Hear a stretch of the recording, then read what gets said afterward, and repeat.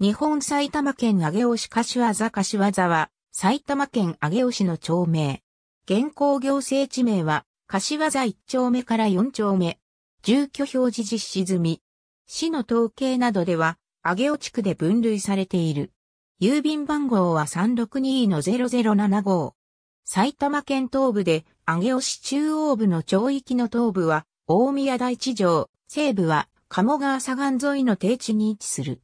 町域の東側を上町や宮本町と接し、南側を谷津や富士見と接し、西を今泉、北側をベザイや春日と接する。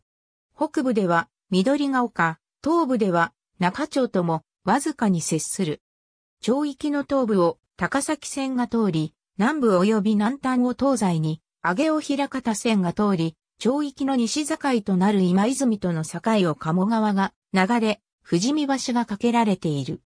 全域が市街各域で主に第一種住居地域や第二種住居地域に指定され、上尾駅前付近は商業地域で、上尾平方線沿線は近隣商業地域となっているが、全体的には住宅地が広がっている。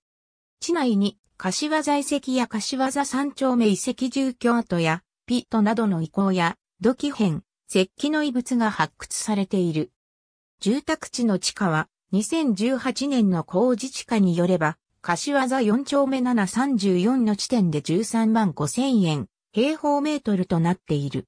旧上尾駅元は、江戸期より存在した武蔵国足立郡大谷領に属する柏座村であった。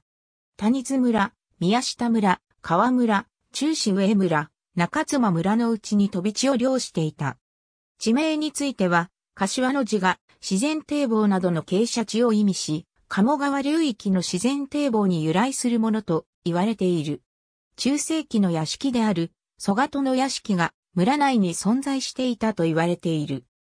1875年の農業産物港は、武蔵国郡孫子によると、米84.4国、岡棒7国、大麦150国、小麦55国、大豆45国、小豆4国、栗27国、冷え30国、蕎麦5国であった。アリコベールプラザ館、武蔵国郡村市には、新井の記載があるが、現在の場所を特定できない。また、新編武蔵風土機構には、荒日、橋場、堀之内、旧狩、駒形、的場の記載があるが、未確認である。2019年1月1日現在の世帯数と人口は以下の通りである。私立小中学校に通う場合、学区は以下の通りとなる。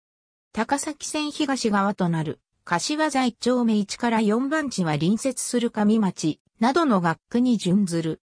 地区内の東部から北部にかけて高崎線が通り、上尾駅が設置されている。地区内に国道や主要地方道、一般県道は通っていない。都市計画道路富士見が岡名勝馬線の延伸が計画されている。上尾駅、西口駅前より、西上尾第一、第二団地方面や川越方面への路線バスが多数運行されている。なおバス乗り場がある西口駅前広場は谷津2丁目に立地する。上尾駅前や主要な市道沿いに多数の商業施設が立地する。ありがとうございます。